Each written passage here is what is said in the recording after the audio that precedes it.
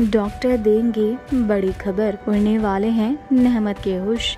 बिल्कुल ठीक, सुना आप सभी ने दोस्तों, लेकर हाजिर है शो। उडारिया से जुड़ी एक नई और दिलचस्प अपडेट के साथ, जहाँ पर आप सभी को देखने को मिला कि आखिरकार अब हो गई है सरताज और नहमत की मुलाकात। यहाँ पर सरताज को पता चला कि आखिरकार नहमत ने उसकी जान बचाई थी। लेकिन अपकमिंग ट्रैक में अब नहमत के साथ कुछ ऐसा हो जाएगा, जो कि उसने बिल्कुल भी नहीं सोचा था। जी हाँ आप सभी को बता दी कि जो नहमत है, वो होने वाली है प्रेग्नेंट दरअसल यहाँ पर नहमत की अचानक से तबीयत खराब हो जाएगी और सरताज उसे लेकर जाएगा हॉस्पिटल जहाँ पर अब डॉक्टर्स कह देंगे नहमत से कि आप प्रेग्नेंट हैं। जी हाँ आप सभी को बता दें कि बच्चा किसी और का नहीं, बल्कि एक एकम का है।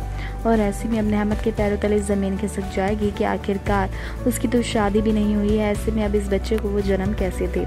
लेकिन वहीं दूसरी तरफ़ अब सरताज जो है, जी हाँ दोस्तों, सरताज अब थामने वाला है नहमत का हाथ, क्योंकि वो ये बात जानता है कि नहमत एक बहुत ही अच्छी लड़की है और उसके साथ किसी ने बहुत बुरा किया है। ऐसे में उसे मैं बीच मझधार में नहीं छोड़ सकता हूँ। जी हाँ दोस्तों, आप सभी को बता दें कि यहाँ पर अक्षु की कहानी ले लेने वाली है। बेहद ही ज़्यादा दिलचस्प मोड़ और ऐसे में अब नहमत को अपनी पत्नी बनाकर आखिरकार सरताज पहुँचेगा अपने घर।